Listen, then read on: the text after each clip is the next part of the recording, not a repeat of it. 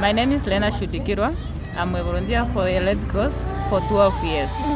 I have been in the community doing a home-based care whereby helping the client who is on ARV treatment and the vulnerable children and the disability people.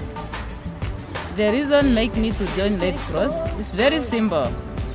I was serving a household member who's having the mother passed away because of HIV.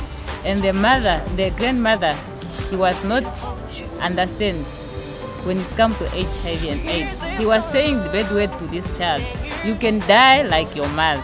Then for me, I found Red Cross member in the community giving information about HIV and recruiting the uh, member.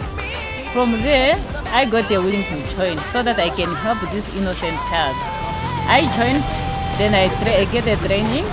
From that training, I give information to the mother. Then he take the child at the, at the hospital. The child tested and diagnosed HIV positive.